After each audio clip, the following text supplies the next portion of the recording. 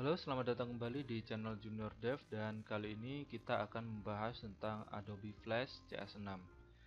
Jadi buat teman-teman yang belum mengetahui Adobe Flash CS6, mungkin kalian sudah familiar dengan yang namanya Photoshop, kemudian Illustrator, Dreamweaver dan lain sebagainya. Itu adalah satu produk dari Adobe.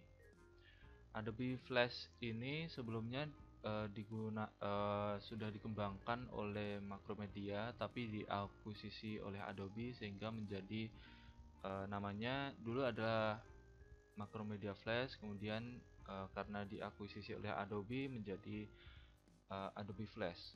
Dan saat ini untuk program Adobe Flash sudah sampai ke CS6 yaitu uh, bisa dikatakan ini adalah Adobe Flash terakhir karena uh, setelah ini ada Adobe uh, Animate CC yaitu adalah pengembangan dari Adobe Flash. Jadi berubah nama, berubah nama menjadi Adobe Animate CC dan itu uh, tidak hanya uh, untuk Flash tapi juga bisa untuk website. Nah, sekarang kita akan mulai uh, membuat dokumen dan kali ini e, caranya ada banyak sekali membuat dokumen.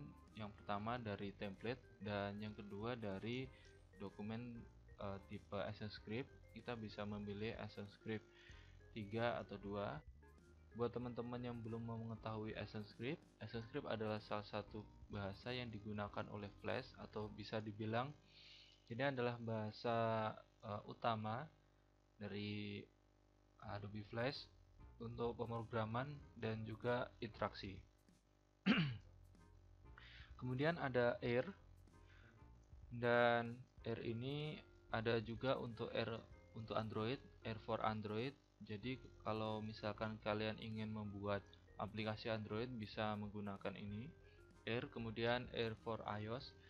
Ini untuk misalkan digunakan untuk game iPhone atau aplikasi iPhone kemudian ada flashlight 4 kemudian ada uh, script-script lainnya yaitu AssaScript, file JavaScript file dan lain sebagainya.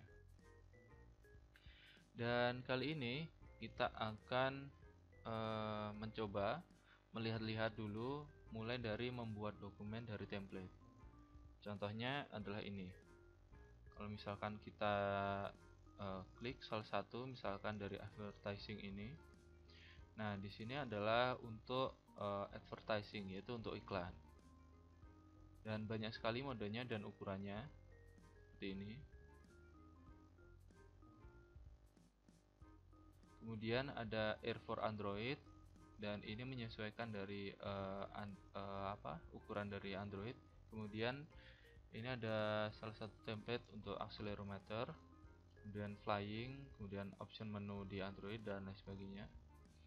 Kemudian yang di template ini salah satunya ada lagi yaitu animation. Jadi animation tombol, mesh dan lain sebagainya. Seperti ini.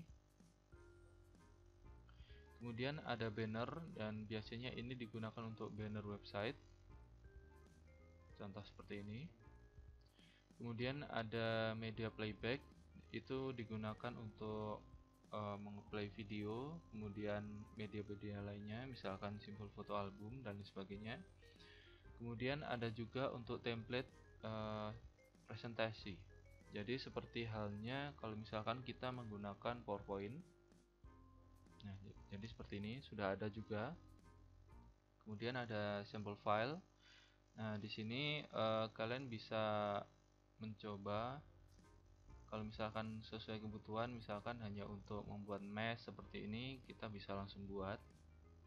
Misalkan untuk menu seperti ini. Nah jadi seperti itu. Ini ini adalah uh, untuk membuat dokumen dari general yaitu uh, membuat dokumen dari script. Misalkan uh, dokumen dengan tipe ActionScript 3 yang mana dokumen ini akan menjalankan uh, bahasa pemrograman ActionScript 3 kemudian kalau misalkan di bawah ini adalah ActionScript 2 Jadi uh, dokumen ini menjalankan program dengan bahasa ActionScript 2. Jadi untuk ActionScript 3 ini adalah pengembangan dari ActionScript 2 dan sudah mendukung Object Oriented Programming. Kemudian ada AIR. Jadi uh, digunakan untuk mendevelop aplikasi dan untuk bisa uh, cross platform. Kemudian ini untuk Android dan sebagainya kita tutup nah di sini di bagian sini itu ada learn di mana kalau misalkan kita buka ini kalau misalkan kita klik dia akan membuka uh, browser dan menuju ke halaman Adobe. Dan di sana ada tutorial-tutorial misalkan ini adalah tutorial introducing flash kemudian simbol dan lain sebagainya. Dan di bawah sini itu adalah uh, recent item. Jadi kalau misalkan kalian belum uh, pernah membuat dokumen sebelumnya, maka di sini tidak ada. Kebetulan saya sudah membuat beberapa dan ini adalah salah satu uh, recent item saya, misalkan project flash seperti ini. Jadi kalau misalkan uh, Adobe Flash ini kalau disimpan dia akan berekstensi flash.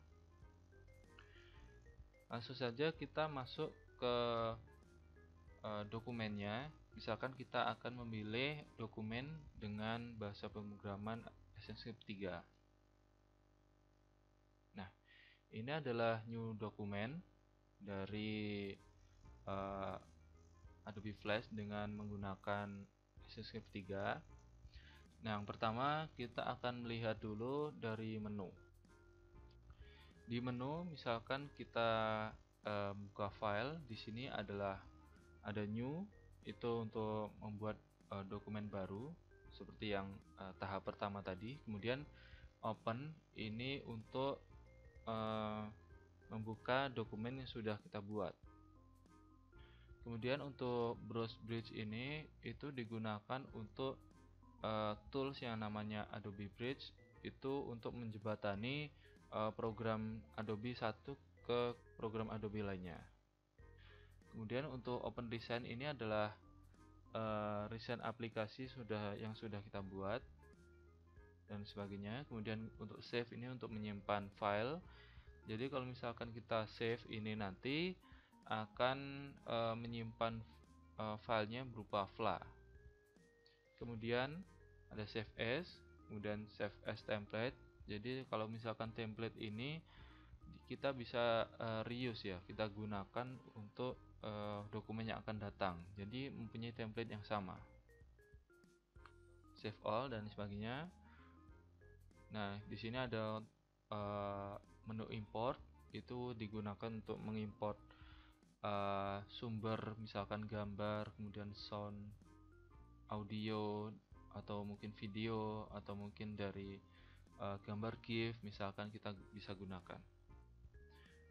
Kemudian ekspor ekspor ini misalkan untuk mengekspor image kemudian ekspor selection dan kemudian ekspor movie atau video. Kemudian ada publish di mana publish ini adalah uh, salah satu fitur flash di mana kita bisa mempublish uh, flash ini menjadi uh, bisa dijalankan di beberapa platform yaitu misalkan website kemudian uh, menuju uh, bisa menjadi file SWF, file flashnya. Kalau misalkan kita sudah membuat yang namanya uh, flash, kita bisa simpan di file eksportan utama flash yaitu SWF. Kemudian bisa dijalankan langsung menjadi aplikasi Windows juga menjadi exe. Kemudian publish preview ini untuk mempreview kemudian uh, publish ini untuk melakukan action publish jadi langsung menjadi dia disesuaikan dengan uh, publish di sini kemudian untuk action script setting itu digunakan untuk uh, men-setting action script. Jadi action scriptnya itu ada tambahan atau mungkin ada library yang lain dan lain sebagainya. Ini yang sudah umum. Kemudian kita ke menu edit di mana di sini ada undo redo dan lain sebagainya. Ini uh, umum ya digunakan. Paste in center ini untuk mempaste uh, objek ke tengah. Kemudian ini uh, paste in place untuk mengkopas objek ke uh, tempatnya. Jadi tempat yang sama. Duplicate untuk menduplikat kemudian find and replace untuk menemukan teks. Kemudian ada timeline untuk meremove uh, frame dan lain sebagainya. Ini nanti akan kita bahas untuk timeline. Read simbol dan lain sebagainya jadi kalau misalkan simbol itu adalah salah satu objek dari flash yang uh, bisa diedit modifikasi tanpa uh, mengganggu dari uh, dokumen. Jadi mempunyai uh, sub dokumen tersendiri. Kemudian ada preference. Preference itu pengaturan umum flash. Ada uh, font mapping kemudian uh, custom tool panel dan sebagainya keyboard shortcut. Untuk font mapping ini adalah uh, library dari font yang misalkan kita include ke dalam flash. Kemudian kita ke view di mana view ini uh, kita uh, misalkan untuk go to misalkan ke preview home dan sebagainya. Seperti halnya uh, di program dokumen pada umumnya. Kemudian zoom in untuk memperbesar dokumen. Zoom out untuk memperkecil. Kemudian magnification uh, tombol pembesar kemudian preview mode. Nah ini uh, untuk preview mode ini uh, biasanya digunakan untuk uh, view dari page object atau mungkin dokumen atau hal-hal yang perlu lainnya. Dashboard kemudian ruler. Ruler itu uh, penggaris di sisi sini. Kemudian ada uh, grid. Itu garis-garis uh, apa kotak-kotak itu untuk mempaskan dokumen atau mempaskan objek di dokumen kemudian snapping ini membantu gridnya dan lain sebagainya Nah, ini untuk uh, membuat simbol, simbol uh, dari uh, objek di flash. Misalkan simbolnya untuk movie clip atau mungkin grafik atau mungkin tombol. Kemudian motion twin, shape twin dan classic twin ini adalah uh, untuk membuat uh, pergerakan. Timeline misalkan membuat layer layer folder dan sebagainya. Kemudian scene ini untuk membuat uh, istilahnya adegan-adegan. Kemudian modify ini untuk pengaturan dokumen. Kemudian bitmap kemudian simbol shape dan sebagainya. Ini umumnya. Digunakan untuk gambar kemudian timeline dan sebagainya layer properties kemudian mengubah ke keyframe. Nanti kita akan bahas keyframe. Keyframe itu seperti uh, titik waktu ya istilahnya. Titik waktu di mana animasi itu berjalan. Uh, keyframe itu hal-hal uh, di mana di titik itu kita bisa mengubah uh, uh, kondisi dari objek yang kita gambar atau kita buat kemudian ada transform, arrange dan lain sebagainya group ini untuk mengelompokkan objek. Kemudian di sini ada teks.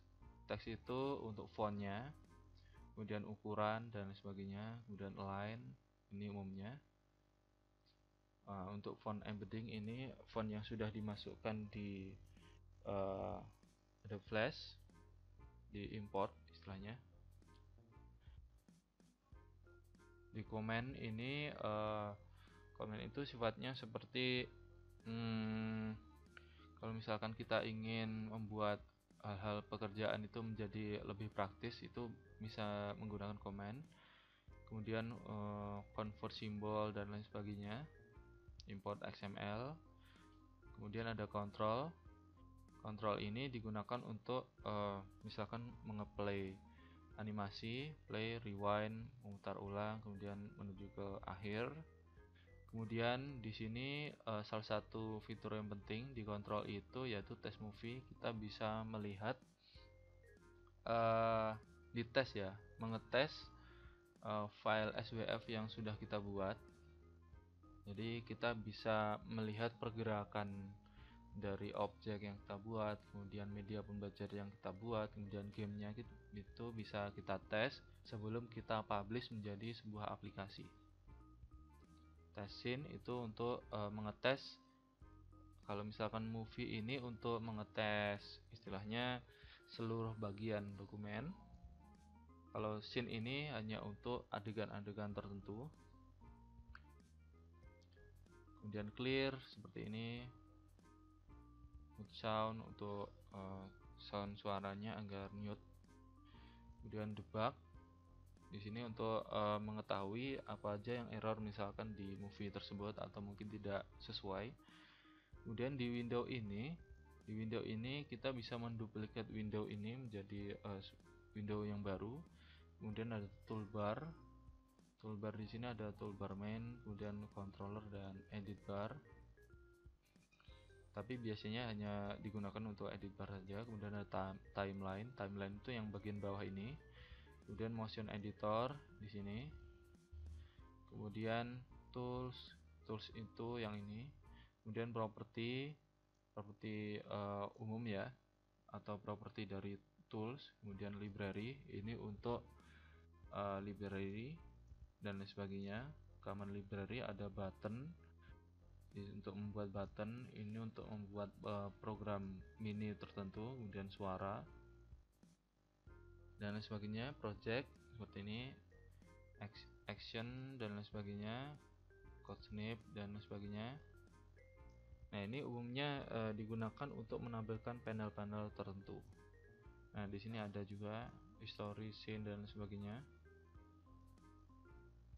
Kemudian workspace ini untuk mengatur uh, workspace. Jadi meja kerjanya nanti misalkan kalau misalkan kita uh, workspace mau small screen kalau misalkan animator misalkan kayak gimana misalkan ini pindah ke sini kemudian panelnya berpindah-pindah sesuai dengan kebutuhan uh, misalkan untuk animator designer dan developer.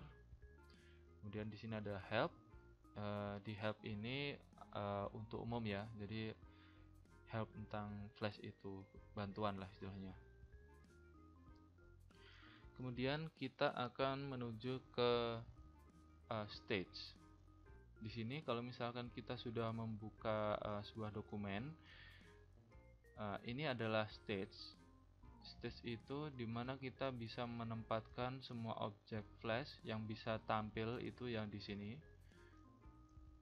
Di kotak uh, putih ini contohnya. Itu uh, apa pun yang akan terlihat atau mungkin action-action itu objek-objek itu ditampung di sini Jadi istilahnya ini seperti uh, lembaran kertas di mana kita bisa menggambar, kita membuat apa saja itu di sini. Dan ditampilkan juga di sini. Kemudian di bawah uh, di atas ini itu ada uh, untuk dokumennya. Misalkan ini dokumennya antara satu, kemudian kalau misalkan kita new membuat lagi, maka akan muncul lagi dokumen di sini. Dan ini uh, keterangan kalau kita berada di scene 1 di scene 1 ini maksudnya adalah uh, ini adalah adegan pertama. Kita bisa membuat scene-scene lainnya. Scene itu uh, bisa dikatakan adalah adegan. Kemudian di sebelah ini adalah edit scene kemudian ini adalah untuk simbol. Jadi kalau misalkan kita ingin mengedit simbol tertentu dan ini untuk uh, apa tadi? Uh, untuk scene untuk adegan tertentu menuju adegan tertentu. Kemudian ini untuk menentukan ukuran ukuran dari uh, window. Misalkan kalau misalkan kita fit in window maka uh, tampilannya akan fit seperti ini. Kemudian kalau show frame kemudian show all dan kemudian ini untuk 100% 100% nya seperti ini karena ukuran dokumennya juga belum kita buat Nah, seperti itu. Kemudian yang di sebelah uh, kiri ini itu adalah uh, tools di mana tools ini adalah untuk seleksi tools.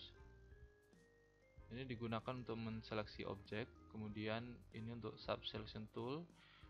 Ini digunakan untuk menseleksi uh, objek yang uh, hal hal-hal yang detail ya. Misalkan untuk sisi sisi uh, objek misalkan untuk diedit menggunakan ini.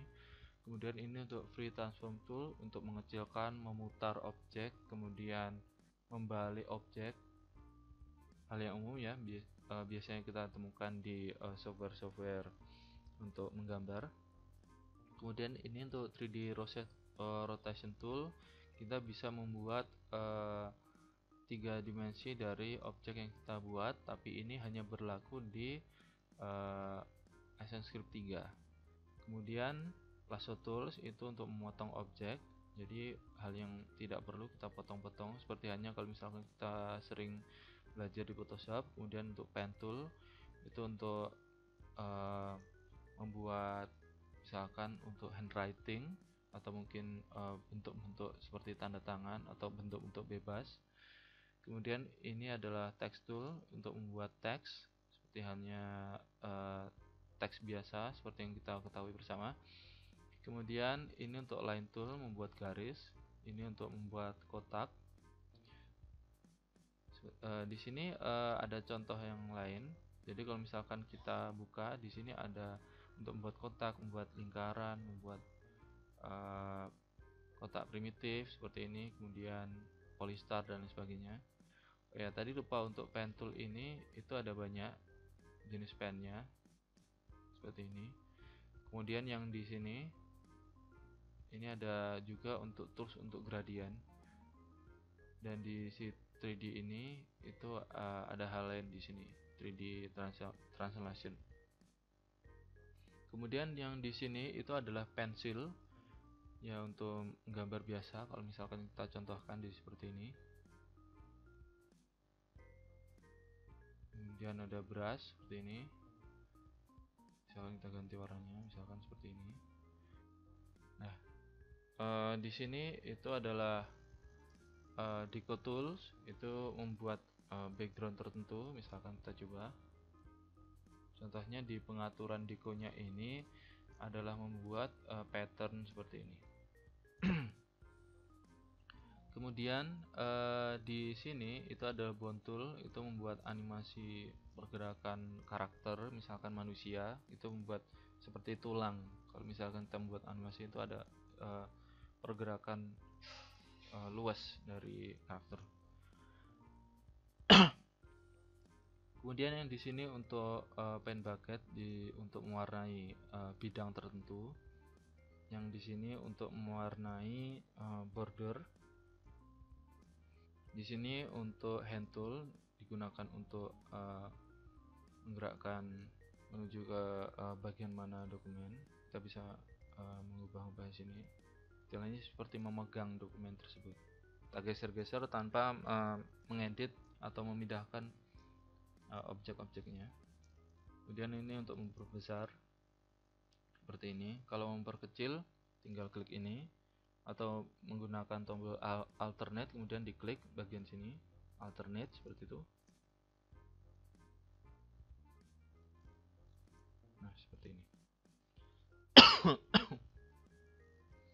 Kemudian eh, di sini itu adalah ada line eh, timeline di mana timeline ini kita bisa membuat eh, animasi dan kita bisa uh, menempatkan objek apa pun yang ada di sini. Jadi kalau misalkan uh, misalkan ini di uh, yang pertama di sini maka uh, dia akan memuat ya, di keyframe ini. Jadi istilahnya ini adalah kalau misalkan kita membuat animasi, kita membuat gambar, uh, kemudian kita gerakkan sampai berapa uh, frame per secondnya dihitung ber berdasarkan frame per second. Kalau misalkan frame per secondnya 30 frame per second maka uh, sini sampai sini itu hanya dihitung satu detik. Kemudian kalau ingin dua detik maka ke 60 3 detik berarti 0 sampai 90 dan sebagainya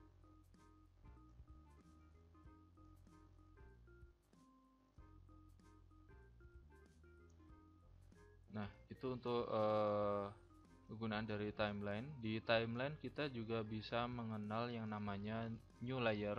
Ini untuk membuat layer. Di layer ini uh, digunakan agar objek objek itu di, bisa diprioritaskan tempat uh, paling depannya. Jadi uh, seperti objek menumpuk menumpuk seperti itu.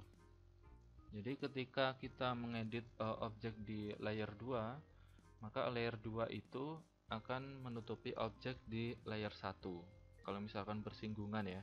Kemudian kalau kita mengedit uh, di layer 2 maka tidak terpengaruh di layar 1 seperti itu. Kita bisa nambahkan lagi seperti ini. Kemudian yang di sini untuk uh, membuat uh, folder dan jadi layer itu bisa di, kita kelompokkan seperti ini.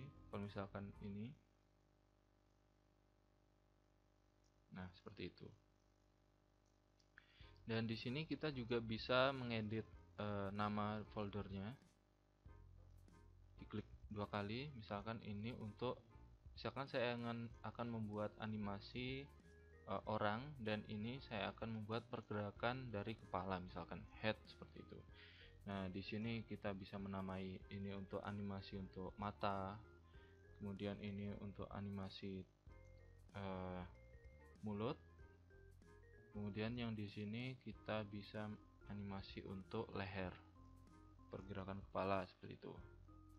Lalu di bawahnya kita bisa membuat eh, folder-folder uh, lagi untuk membuat uh, tangan kaki dan lain sebagainya.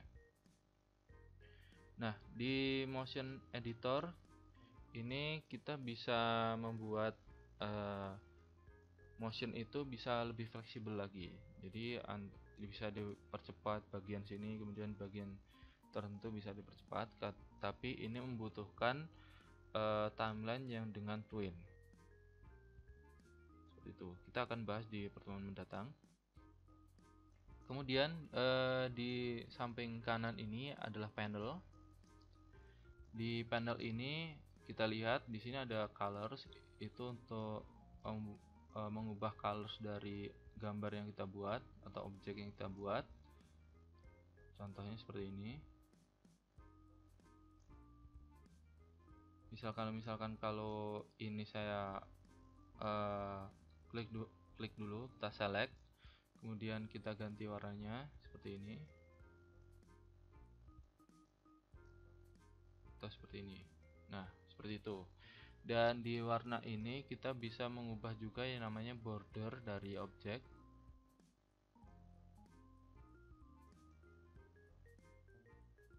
Kemudian ini untuk memilih warna dasar. Yang ini uh, warna yang lebih uh, istilahnya lebih fleksibel pemilihan warna. Jadi uh, peluang warnanya lebih banyak. Lalu di sini uh, ada align ini untuk align objek atau align text dan lain sebagainya.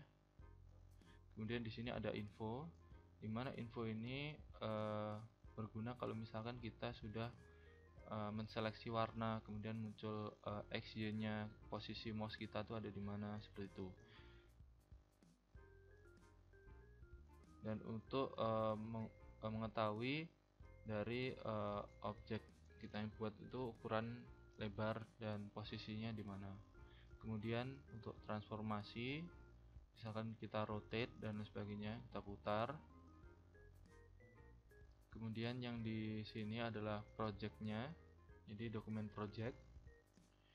Di sini ada uh, properties di mana properties ini itu untuk mengatur yang namanya dokumen ataupun objek yang kita buat tergantung dari apa yang kita seleksi. Kalau misalkan kita seleksinya dokumen maka dia akan uh, mengubah dokumen. Kalau misalkan kita uh, seleksi itu sebuah objek maka objek tersebut yang akan kita properties. Contoh kalau misalkan kita uh, menseleksi ini kita klik dua kali misalkan kemudian kita properties maka uh, bentuk dari objek itu apa kemudian posisi kemudian lebar itu bisa kita edit di sini warna dan lain sebagainya. Nah untuk misalkan kita dokumen kalau dokumen kita klik aja di luar di sini. Kemudian di sini adalah uh, untuk publish dokumen itu publishnya itu settingnya seperti apa. Kemudian flash player targetnya itu seperti apa misalkan ini sudah default seperti ini aja tapi bisa diubah ke yang lain. Kemudian scriptnya itu menggunakan script uh, berapa? Satu dua atau tiga. Dan class uh, kalau misalkan kita membuat uh, script uh, class essence script kita bisa cantumkan di sini. Kemudian ini untuk frame per second jadi untuk menentukan kecepatan dari uh, keyframe. Jadi maksudnya kalau misalkan di timeline itu uh, untuk membutuhkan waktu satu detik dia harus uh, 24 uh, frame seperti ini. Jadi kalau misalkan ini 24 maka dia akan muncul 24 kemudian ini untuk ukuran dokumen misalkan kita ubah menjadi lebarnya 800 kemudian ini 600 nah jadi uh, dokumennya menjadi lebar dan tingginya bertambah. Nah ini untuk stage warna dasar dari stage misalkan kita ubah menjadi kuning. Nah jadi seperti ini. Kemudian di sini itu ada library di mana library ini adalah kumpulan dari gambar-gambar atau objek yang sudah kita buat. Uh, kemudian uh, objek atau gambar ya. Misalnya yang kita buat kemudian di di sini adalah action di mana action itu kita bisa uh, membuat program untuk misalkan untuk tombol kemudian untuk interaksi uh, antar objek dan lain sebagainya. Biasanya digunakan untuk membuat media pembelajaran game dan lain sebagainya nah itu untuk uh, pengenalan dasar dari flash. Kemudian saya akan mencontohkan uh, membuka salah satu dokumen yang sudah saya buat. Contohnya seperti ini.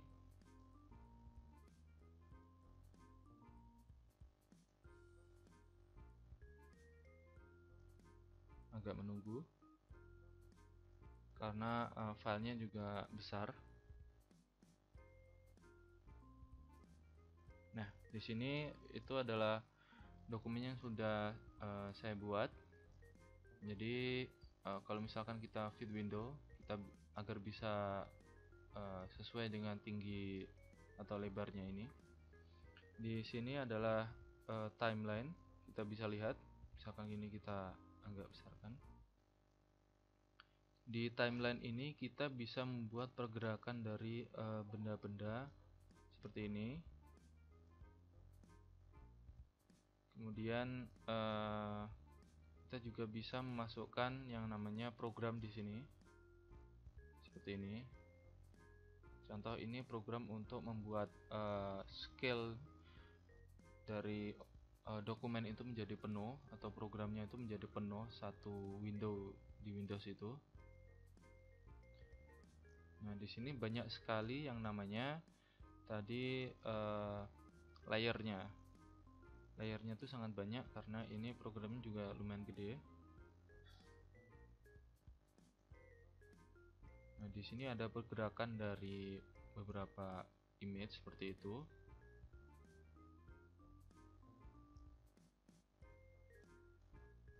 Nah kemudian uh, saya ingin uh, mencoba uh, di sini. Di sini ada uh, pemrograman AsciiScript 3 di sini ada uh, function dan lain sebagainya.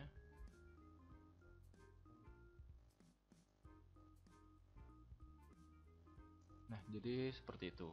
Kalau misalkan kita um, buat uh, dokumen dari Adobe Flash dan kita bisa ekspor menjadi banyak aplikasi. Uh, mungkin sekian aja dari video kali ini untuk pengenalan Flash. Kalau mungkin kurang saya akan buat uh, tutorial lagi yang akan uh, datang yaitu uh, mencoba untuk menggambar di stage di Adobe Flash. Kita akan belajar menggambar membuat bentuk dan lain sebagainya. Jangan lupa untuk uh, follow Junior Dev dengan subscribe channel Junior Dev. Kemudian uh, jangan lupa untuk like uh, dan ikuti terus fanpage, kemudian Twitter, Instagram, dan kalau ingin mengkontak silahkan kontak uh, email uh, hellojuniordev@gmail.com. Jangan lupa untuk mencoba uh, tutorial ini, mempraktekannya agar lebih kenal lagi dengan Adobe Flash. Akhirnya sekian dan terima kasih.